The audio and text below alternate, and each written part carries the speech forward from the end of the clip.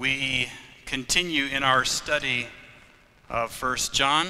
We're going to be in chapter 4 today. First John chapter 4. And uh, we'll read 7 uh, through 21. This is what the Bible says Beloved, let us love one another. For love is from God, and everyone who loves is born of God and knows God. Whoever loves not does not know God, for God is love.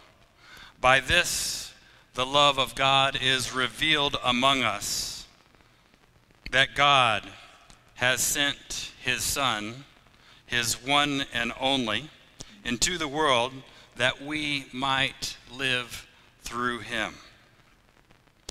In this is love, not that we loved God, but that he loved us and sent his Son to be the atoning sacrifice for our sins.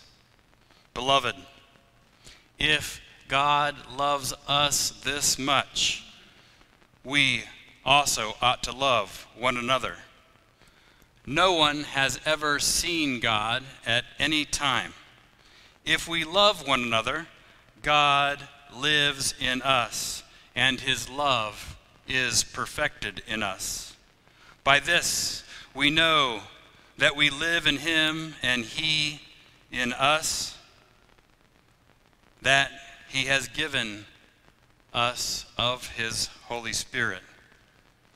So we have seen and testify that the Father has sent his Son to be the Savior of the world. Whoever confesses that Jesus is the Son of God, God lives in him and he in God. We have come to know and to believe the love which God has for us. God is love. And the one who lives in love also lives in God, and God lives in him. By this, love is perfected in us, so that we may ha- have confidence on the day of judgment, because as he is, so we are in this world. There is no fear in love, but perfect love drives out fear. Because fear relates to punishment, and the one who fears is not yet perfected in love. We love because he first loved us. If someone says, I love God, and yet hates his brother, this one is a liar. For the one who does not love his brother, whom he has seen, cannot love God, whom he has not seen. And this is the commandment that we have from him that the one who loves God must also love his brother when I was a kid, there was one of those campfire songs that we used to hear, and it's uh, was the King James version put to music, to guitar music. So it was like uh, 70s contemporary and King James and campfire, and it was one of those kumbaya moments for me. So I memorized this as a child. Beloved, let us love one another, for love is from God, and he who loveth knoweth God, um, for God is love. And so you have all the ifs and the loveth and the beloved. And I was like, uh, when I was a kid, man, I loved that stuff. So I have fond memories of this passage, but it's also a central passage. The reason that it was put to music is it's a central passage in this book. And so, what I want to do today is to look through the passage and sort of highlight what I think are some simple yet important spiritual truths. So the first is this that God's perfect love is his defining characteristic. God's perfect love is his defining attribute. If you want to know what God is like, if you want to describe who God is, love is the thing that should be at the tip of the tongue. That's who God is. So lots of time we like to just think of it as something that God has.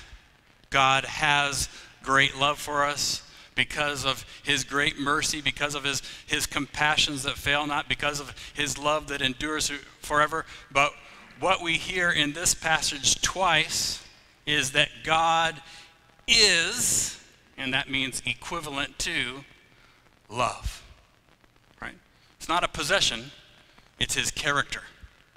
And that's an important thing to understand that God is love in its perfect form. And so, over the years, and if I lose you on this, I apologize. I have lost many people on this explanation. But I think that um, this is kind of the key place where we can understand the Trinity. And I think of this passage as, as revealing the Trinity as love. So when we talk about the Trinity as Christians, uh, we use different analogies because, to be honest, the Trinity blows our minds? To be honest, when we try to understand the Trinity, we have to use metaphors and examples and illustrations because when you start to really try to comprehend who the Trinity is, that there is one God revealed to us through Scripture in three persons, we have like a mathematical crisis and we start frying brain cells. Those of you among us who are accountants, you get to the bottom of the line and it doesn't feel like it adds up and the smoke starts coming out the ears. So some have tried.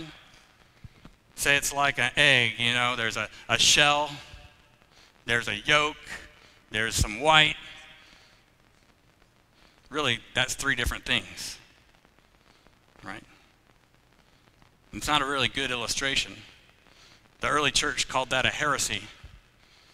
That's three gods. They're just unified. So another one is uh, water. People say it's like ice. And then it could be like liquid water, and then it could be like water vapor. Then you have three that are really the same, but this is not three persons. This is just three modes of expression. So the early church said this is modalism, it's heresy. So whenever you try to describe the Trinity, and this was the thing that I loved to do when I was a seminarian, is you basically are just on the edge of a cliff ready to fall into heresy.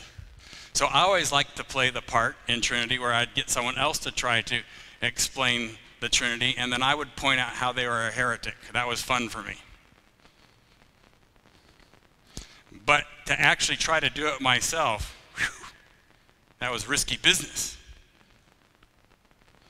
But this passage reveals in ways that um, the, I see in part everywhere else in the scripture. It reveals, when I understand God as love, I can understand the Trinity as love.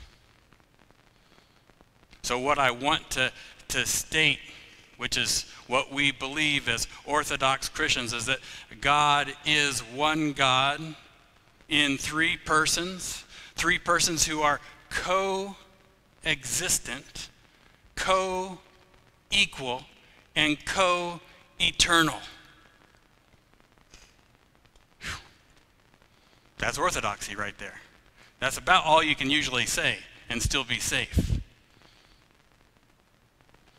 But what I see throughout Scripture, which is revealed in this passage, is that God the Father loves his Son, and the Son loves the Father, and the Son loves the Holy Spirit, and the Holy Spirit loves the Son, and the Holy Spirit loves the Father. So somehow, when I look at the Trinity, I see the three persons, but in the three persons, I see a loving relationship, one person to the other, in, in, in such a way that I cannot extract a person of the Trinity from the love that they have for the other and the way that they are loved among each other. In the Trinity, there is no third wheel. Love is perfect. And so, what I want to say, and here's where I'm really stepping out on faith. So, all my seminarian friends who watch this on YouTube later, they can, they can correct me.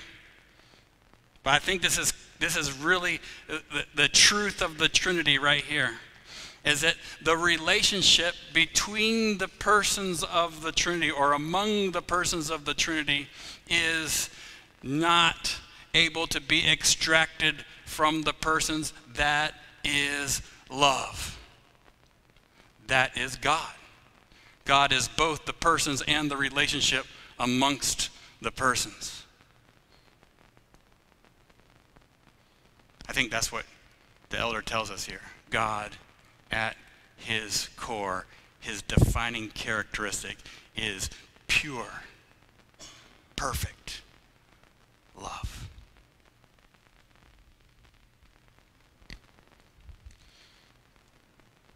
So, in this passage, we see that God is at his core character love. And that actually has some existential cash value for us, right? Why does all this theology matter? That's what I'm asking. It matters because it tells us this that God is self sufficient and self satisfied. He doesn't need you, He doesn't need me. God is fulfilled in the love relationship that is God. This, this seems like, whoa, that's, is that good news? Is that the gospel you're preaching there? This is the gospel, right? God's love is not selfish. It does not need you. He doesn't need people to worship him. He deserves it, but he doesn't need it. Are we together? This is important because when God loves you, it's the expression of genuine love that comes out upon you, not because God has any need of you, but because He loves you anyway. So, even though God is self satisfied, even though God enjoys the love of the Trinity, His love is overflowing within him. It does not fail, it does not end. And everything that we experience from God is the outpouring of this love. When we are created in the image of God to have relationship with God, that's an act of love. We have life because God loves that which is not God. You guys are getting theology today. This is the truth. Creation, that God would knit you together in your mother's womb, that He would dream you up and know you before you were ever born.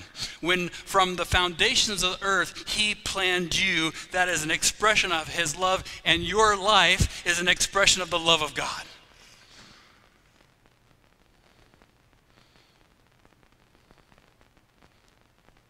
Yet He sustains you when you don't live up to that perfect plan. Every breath, every heartbeat, every good night's sleep, every bad night's sleep, every day that passes, every year that passes, everything that you receive from parents, employers, are gifts of God to sustain your life. That's love.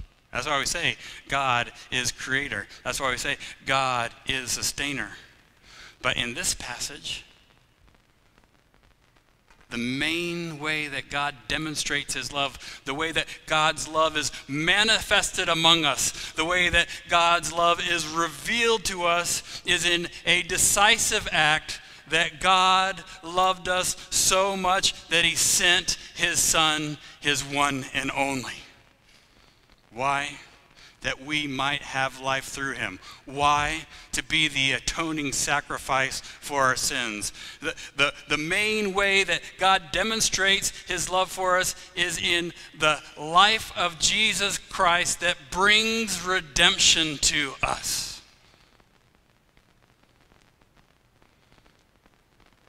God's love is shown perfectly in the life of Jesus Christ.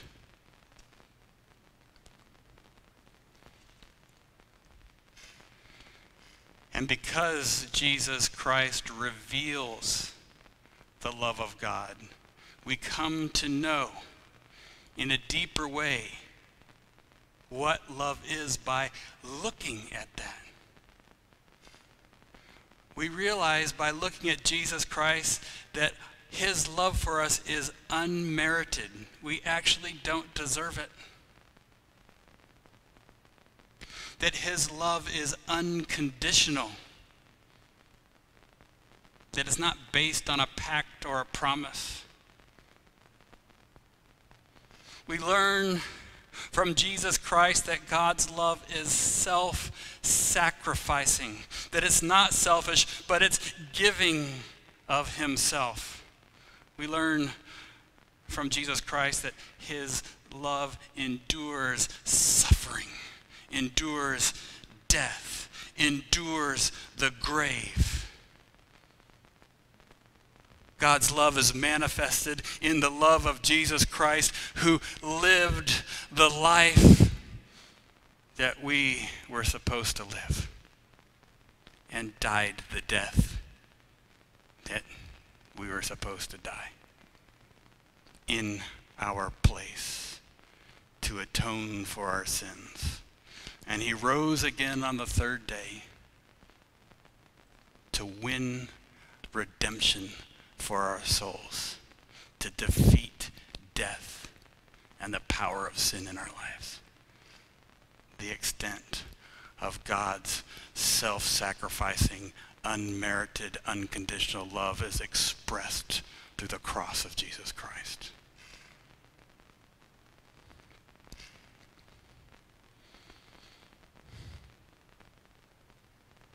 It is God's defining characteristic. And it has redemption for its end. Though we did not merit, though we did not deserve the love of God, He loves us without end. And the impact of that love is redemption in our lives so that we might be rescued and returned and reconciled with a Father who loves us. So, whether you're an amateur theologian like myself, I say amateur because I was trained as a biblical scholar, not trained as a theologian. We can understand kind of the beauty of the Trinity and how that shows perfect love. But experientially, we see that love in the life, death, and resurrection of our Lord Jesus Christ, who gave it all for you. The second truth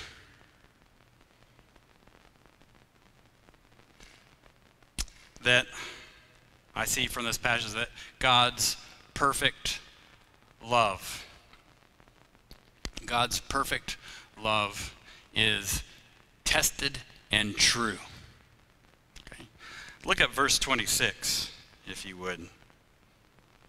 We have come to know and have believed. I'll hold on to that word, have believed, the love which God has for us. So when we talk about believed, it's not just believing that there is a loving God out there, not just like intellectually believing that God's character is love, but it's an issue of trusting that love. Uh, the word that I prefer to use there is the word depend. We have come to know and we depend on God's love for us. His love is dependable. We rely on it. That's what trusting God's love means. It's not like some intellectual enterprise like we just experienced and trying to understand who God is and that He's loving, but it goes beyond that. In a very practical way, our lives depend on the love of God.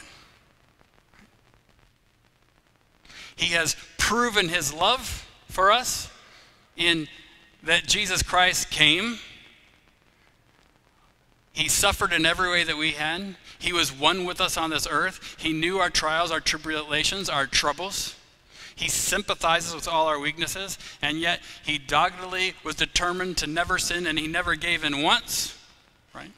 God demonstrates his love for us, like it is proven in this that Jesus, knowing the cost of your sin, died for it that he went up Calvary, that he saw those who had been killed there before, and he willingly went there to bleed for you, to cry for you, to call out in your place, My God, my God, why have you forsaken me? So he would experience the isolation, the abandonment, the punishment, the wrath of God that you wouldn't have to do it. Layman's terms, he took the bullet for you. He stepped in the way. So he's proven it. But there's, there's another piece of that. It's not that we just profess our faith in Christ, that we actually experience this love. Right? So there's a confessional piece, we profess it. There's also an experiential piece. We know for a fact that God loves us because his spirit resides with us. This is, this is one of our evidences that we profess Christ. The other evidence that we have love in our life is that the Spirit of God is within us correcting us, convicting us, propelling us forward, compelling us to love as God first loved us. Right? Verse 13. This is how we know that we live in him and he in us, because he has given of us his spirit.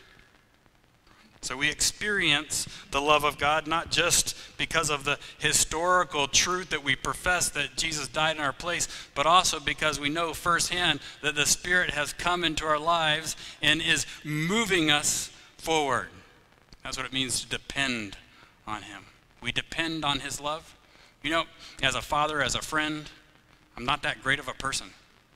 I err again and again by my own wit, right? I have actually have selfish desires. I get tired. More often than I want to admit, I have a battle in my brain between the couch and the kitchen when I come home. Because I'd rather, every day, I'd rather sit on the couch and wait. And my kids will testify that that happens from time to time. When love compels me to help clean up without shouting at people, to help cooking without putting a guilt trip on anyone, without like checking the box on the balance scale so that she owes me one. I'm selfish. There are times I know the laundry get, needs to be done, and it's like sometimes I think my wife struggles with this too because it's, it's like a little competition who can hold out the longest, right? Somebody's got to wash the clothes, and you see the bin getting close to the top. And when we're both having selfish weeks, I don't know if it's like, I'm just talking truth, man. I don't know if it's like this in your house. But it starts to go higher and higher, and it's like we're the long, the bigger it gets to, the bigger the job, the job is. But it's like, I know, man, I can outlast that woman, right? Unless I run out of underwear, you know, That's the kicker. So one time, it was getting to the point where we were in trouble. Like, I knew I was going to run out before her, so I just went and bought more underwear.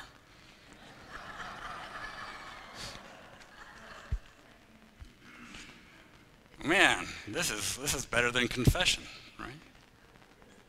So, what I'm saying is, when we live our everyday lives in the little things, there's so many things that we do out of selfish, unloving, uncaring level. Even sometimes the things that we, that we, we want to do, we do it because we get the kudos or the credit, or we credit our account so the other person will have to do it the next time. Man. So the fact that we have the Spirit in us means that the Spirit can compel us to overcome our incompetencies. The Spirit can push us to choose not ourselves and our sin, but to choose to serve, to love, to forgive keep no record of wrong? That's a good one. That's a hard one. Right? We don't do that naturally. We do that because we're compelled by the Spirit that we experience within us. So, if we want to love like God first love us, we must, based on this, depend on His Spirit to compel us, to empower us to encourage us to act in loving ways. There is um, something wonderful about depending on the, the love of God instead of on our own merit or our, our own energy our own righteousness. If you keep going down from verse 16, uh, 17 says, By this love is perfected with us, so that we may have, have confidence on the day of judgment. Because as He is, so we are in this world. So, this love that we depend on gives us confidence on the day of judgment. In other words, we don't have to worry about the wrath of God that is coming our way as He is, we are in this world means that uh, in the way that God viewed the life of Christ, God views our life. That's why we don't fear judgment. Because when God looks at your life, He doesn't look at all the terrible, sinful things that you've done. Instead, He knows that you're covered by Christ, and He looks at Christ's life. That's the, that's the regard that God has for us as he has for his only son. That's an amazing piece. As he was, we are in this world. It's not just regard, though, it's also relational. The way that he related in the world is the way we relate in the world. So there's this piece that is a, a, a justification from God that we are regarded highly as God would regard his only son. But we also are to live in the world in relationship with others as Jesus related to others. So, there's that side too, which compels us even further to act like Christ. He is our proclamation, and He is the standard for our practice. So here's the third thing as we get to that God's perfect love. God's perfect love is what compels and provokes love in the church. God's perfect love in you that compels and provokes the kind of love that you need for the church. And so what the elder is really talking about here is how we love one another. So, especially to the family of God, we are supposed to be in a right relationship with each other, loving one another. That's the command at the beginning of the passage. Beloved friends, let us love one another. Right? Verse 11. If God has loved us this much, we must love one another. Verse 12. No one has ever seen God at any time, but if we love one another, God lives in us, and his love is completed or perfected in us. The final verse, verse 21. This is the command that we have from him that the one who loves God must love his brother as well. So the love ethic, the command is clear that we rely on this dependable love of God in order to love one another. So, as you start to think about how you respond to the scripture today, because what we mean by calling it our authority for life is that when the Spirit uh, reveals something through scripture, we obey it. When we read scripture, we're not reading it like another book, we're reading it with the intent to obey Christ. So it is my expectation for you, as it is for myself, that when we read Scripture, there's a life impact in us. Simple question is, what must I obey? So, some of you, as you start thinking about this, maybe um, thinking about have I ever experienced this love? Am I in a real relationship with God? Others of you may be at a point where um, I have not been obedient to love others. I have not uh, ha- had the love in myself to be diligent with my faith. First John has um, I think this is pretty harsh. So I hope that it hits you the way it smacked me in the face. I think it's important that we hear this. Right at the end, verse 20. If someone says, I love God, yet hates his brother, what is he? A liar.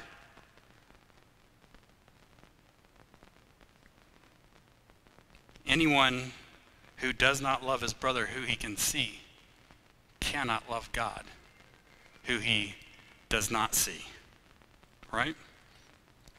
I just want that to smack you in the face, like it smacked me in the face. Because when I think about it, I am, I, my false love indicates that I have false faith. My failure to love indicates that I have a failure of faith. Do, do you hear what I'm saying here? Like, it's almost like a litmus test. If you don't love like you are loved by God, then your faith is deceptive. Don't deceive yourselves. God's perfect love in you is always expressed outwardly. So, what we've learned today is that the source of perfect love is in God. The expression of God's perfect love is in the cross. The result of God's perfect love is your redemption. And the completion of God's perfect love is our proclamation or the reconciliation of a lost world with a God who loves them. How much, brothers and sisters, do you have to hate someone to know about salvation and not share it with someone who is dying and going to hell? This is a legitimate question, one I ask myself.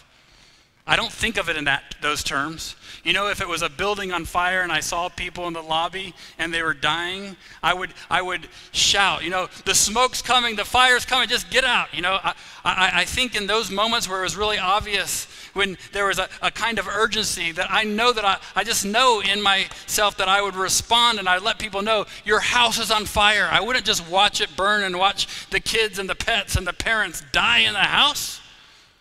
Right? How much would I hate them to watch them burn? Like, even someone I don't like on my street, I picture that there's something good in me, something loving in me, that if they were really at risk for something catastrophic like that, that I would just do something. You're good people, don't you think? If, if you saw the train coming and children were playing on the tracks, that you would alert them? That you would warn them? How hateful would you have to be at a heart level to sit there and watch it plow through them? We would call you a psychopath, wouldn't we? I, I know there's a risk here that I, I'm overstating something, but I actually don't think that I am based on this scripture. Like, my goal is, is not to, to make you feel guilty. My goal is not to accuse you of anything, but I want the scripture to wake you up and let you realize what this means. If we know someone is not right with God, if someone's living an unredeemed life, how can I have confidence to just let them know? Let them know that the disaster is coming, that the wrath is coming, that the fire is burning, that the train is on its way. See, because the scripture tells me here that in Christ I have confidence for the coming day of judgment. Verse 18 is beautiful here for me. There is no fear in love, but perfect love casts out fear. Fear involves punishment. And the one who fears is not perfected in love. I imagine on those little examples that I gave you that I would have the boldness, the courage, that I would not be afraid to speak up, to shout out. Even in some situations, I can envision myself running into a burning building or pushing children out of a train's way. Like, I think I would have in that moment the boldness and the confidence. So, what the Bible says right here is whoever is afraid, whoever fears, love is not yet perfected in him. Love is not yet perfect in her. You see, because the completion of God's love, when it comes to its end, is about reconciling, reconciling a world to their Father, God. Love's source is God. Love's expression is Christ. Love's result in our life is redemption. And love's completion or perfection is in a proclamation that will reconcile a lost world with a God who loves them.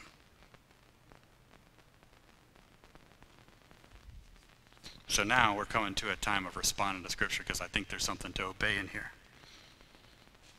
So if you happen to be one of those people who say, no, look, I, I, don't have a relationship with a God who, who loves. I don't even understand how love works. I don't feel like I've ever been loved. I don't have a relationship with the God who restore, who will restore my soul. This is your chance. This is your opportunity. As we close today with song, I want you to pray a prayer of conversion. Lord, I've been living for myself. I've been living in sin. I want to repent from all of that. And I want to follow your Son, Jesus Christ. I commit today to live for you for the rest of my life. to make you recognize you as the Lord of my life. Let that be your prayer as we close today. There's some of you, for whatever reason, have been living in fear, anxiety, have not been expressing love in appropriate ways. Not just among the body of believers, the children of God, but even among your neighbors, your relatives, your friends. The Spirit has convicted you today, and I don't want you to ignore the Holy Spirit. What I want you to do is, in our time of reflection as we sing our last song, I, I pray that you confess that sin, to turn from that wicked way, to turn from that hateful way. Commit today to live out love. This is not something that I'm trying to make you feel bad about yourself. If you're enslaved to anxiety and fear, and you don't have confidence to proclaim your faith, faith and you don't have confidence for the day of judgment, I ask, I, the prayer is to be delivered from that. Right? Turn, turn away from that. Ask for, ask for the Lord to, to deliver you from fear. There is no fear. Perfect love drives fear out. Perfect love casts anxiety far away. Perfect love doesn't worry about how you look when you're, you're running down the street and shouting, There's trouble coming.